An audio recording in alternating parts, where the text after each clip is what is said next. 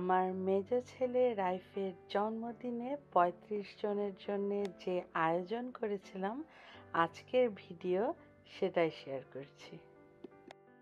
Hello বন্ধুরা, আসসালামু আলাইকুম and welcome back to my channel and page Bindaas results কি খবর সবার?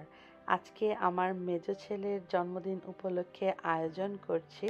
সো আগের দিন রাত বারোটার সময় আমি রান্না শুরু করেছিলাম জানি পরের দিন মানে জন্মদিনের দিন উঠে তাড়াঘোড়া না লাগে। সো রাত বারোটা থেকে আমি এগুলো সব রান্না করেছি। এখানে আমি চল্লিশ পিস মুরগির মাংস নিয়ে নিয়েছিলাম কোরমা করার জন্যে। আর এইটা রান্না করছি মুরগির কিমা দিয়ে অনেকগুলো বেল পেপার, আলু, মটরশুঁটি দিয়ে ভুনা করে। এইটা খেতে বেশ মজা লাগে, বাচ্চারাও খুব পছন্দ করে খেতে। জন্মদিনটা যেহেতু ঠিক কোরবানির পরে, তাই কোরবানির গোশ রান্না হবে না তা তো হতেই পারে না। আর সবাই যেহেতু আমার হাতের গরুর গোশ গোটা রসুন দিয়ে খুবই পছন্দ করে, তাই গোশ তো থাকতেই হবে। তো এইখানে আমি বারো পাউন্ড গরুর গোশ নিয়ে নিয়েছিলাম। এইটাকে আমি একদম কষিয়ে কষিয়ে সুন্দর করে রান্না করেছি। এইখানে রান্না করছি তেলাপিয়া মাছ। বড় বড়, গোটা গোটা তেলাপিয়া নিয়ে এসে এটাকে আমি কাটিনি। একদম গোটা গোটা এটাকে আমি ভেজেছি আগে। ভেজে এটাকে আমি অনেকগুলো কাঁচা টমেটো আর পাকা টমেটো দিয়ে দো পেঁয়াজি করেছি। এইটা খেতে অসাধারণ লাগে যদি তোমরা আগে একটু সুন্দর করে ভেজে নাও। এইখানে রান্না করছি রুই মাছের মাথা দিয়ে মুড়ি ঘন্ট আমি জানি অনেকেই বলবে, দাওয়াতে মুড়ি ঘন্ট কেন? বাট আমরা যারা প্রবাসে থাকি, বিশ্বাস করো, আমাদের এই অথেন্টিক বাংলাদেশি খাওয়াগুলো যে কি মজা লাগে খেতে। আমি জানি যে আমার অনেক বন্ধুরা এই মুড়ি ঘন্ট খুবই পছন্দ করে। যেহেতু শরীর ফ্রিজাল খায় না, তাই বাসায় অন্য সময় করাও হয় না। বাট যখনই আমি কাউকে দাওয়াত দেই, আমি এই মুড়ি ঘন্টটা করি জানি আমি ওদের সবার সাথে একসাথে বসে এনজয় করতে পারি।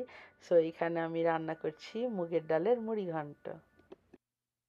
প্রথমে আমি ভেবেছিলাম যে আমি ডিম দিয়ে কোরমা টাইপ কিছু রান্না করব। তারপরে ভাবলাম যে, না, একদিন আমি এই আলুর ঘাটি রান্না করেছিলাম। সবাই খুবই খুবই পছন্দ করেছে। তাই আমি ভাবলাম যে, ডিমের কোরমা না করে আমি আলুর ঘাটি গোটা গোটা ডিম দিয়ে করি। এইটাও সবাই খুবই পছন্দ করে। আর পোলাও দিয়ে খেতে মজাই লাগবে। তারপর এখানে বানিয়ে নিচ্ছি বোরহানি আমি আগেও বলেছি এখানে সবাই স্বাস্থ্য সচেতনতার কারণে বেশিরভাগ মানুষই সোডা বা কোক আর খেতে চায় না। তাই আমি এখন যখনই দাওয়াত দেই, তখনই আমি এই বোরহানিটা করি। আর এত কিছু রান্না হলো আর মিষ্টি কিছু রান্না হবে না, তা কী করে হয়? যদিও আমি একটা কেক অর্ডার দিয়েছি, তারপরেও অনেকেই বড়রা কেক খেতে চায় না। তো ভাবলাম যে অনেক দিন বুটের হালুয়া রান্না করিনি, আজকে একটু বুটের হালুয়া রান্না করি। আর আরেক দিন আমি দেখলাম যে রাইফ হঠাৎ দোকানের থেকে কেনা একটা বুটের হালুয়া, তার খুব ভালো লেগেছে খেতে। তো তখন বুঝলাম যে সে বুটের হালুয়া লাইক করে।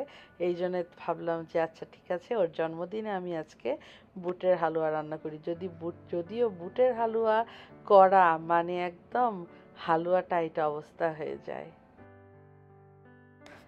এইখানে আমরা আউটসাইডে মানে আমাদের ব্যাকইয়ার্ডে আমরা খুবই সিম্পল একটু সাজিয়েছিলাম। রাইফ যেহেতু অনেক কিছু চায় না, তো সিম্পল সাজিয়েছিলাম। তারপরে আমরা এখানে একটু অ্যাপিটাইজার খাওয়া দাওয়া করে সব বন্ধুরা তখন অলরেডি চলে এসছে। বাইরে জমজমাট আড্ডা আর খেলা হচ্ছিল। খুবই মজার একটা আড্ডা আর ওয়েদারটা এত সুন্দর ছিল। তারপরে আমি বাচ্চাদের জন্য একটা খেলার আয়োজন করেছিলাম। এই বলটা দিয়ে পানির মধ্যে ফু দিয়ে দিয়ে কে কয়টা গ্লাস পাস করতে পারে সেই গেম তো এটাতেও বাচ্চারা খুব মজা করেছে। তো এই গেমটা খেলার পরে আমরা চলে যাব কেক কাটি করতে।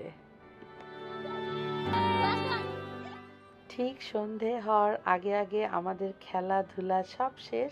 তারপরে ভাবলাম যে আমরা সবার আগে কেকটা কেটে নেই, কারণ বাচ্চারা পরে টায়ার্ড হয়ে যায়।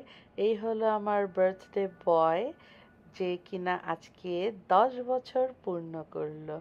তো আমরা কেক টেক সুন্দর করে সাজিয়ে অ্যাজ ইউজুয়াল সবাই মিলে ওর জন্যে বার্থডে উইশ করলাম। করে কেক টেক কাটলাম টুকটাক ছবি তুললাম। এই তো এই ছিল জন্মদিন।